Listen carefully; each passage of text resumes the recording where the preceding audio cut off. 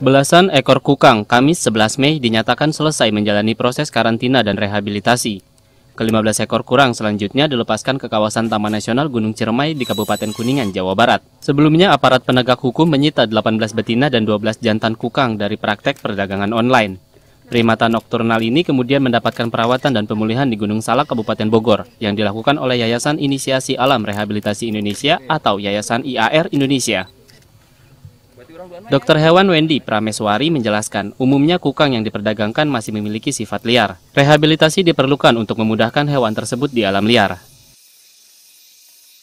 Karena ini merupakan kukang hasil penegakan hukum dan kondisi awal dari kukang hasil penegakan hukum merupakan kukang liar.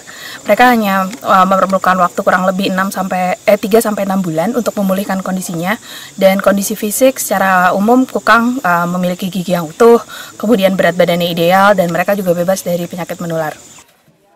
Undang-Undang Nomor 5 Tahun 1990 menetapkan kukang sebagai primata yang dilindungi dan dilarang diperjualbelikan. Masyarakat harus menyadari untuk tidak memburu serta memelihara hewan yang dilindungi.